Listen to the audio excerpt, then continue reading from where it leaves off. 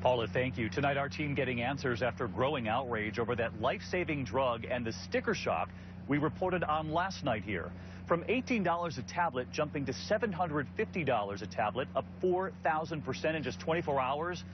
The anger aimed at one man, the 32-year-old hedge fund manager behind the price hike, defiant until now. ABC's Lindsay Davis tracking him down with the ABC News exclusive tonight.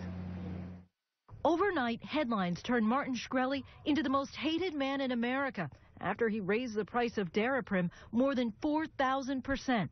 What do you say to your critics, to people who say you're just being greedy? I think they have a fundamental misunderstanding of uh, the way operate.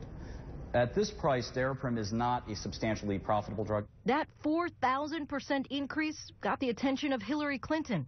She called it outrageous and today demanded change. You won't have to pay more than $250 a month for covered medications. But tonight, this 32 year old CEO telling ABC News exclusively he's heard the public outcry. We've agreed to lower the price of Daraprim to a point that is more affordable and is able to uh, allow the company to make a profit, but a very small profit, and we think these changes will be welcomed. Shkreli says they still need to determine the cost, but he reiterates they already give half of it away for free or a dollar.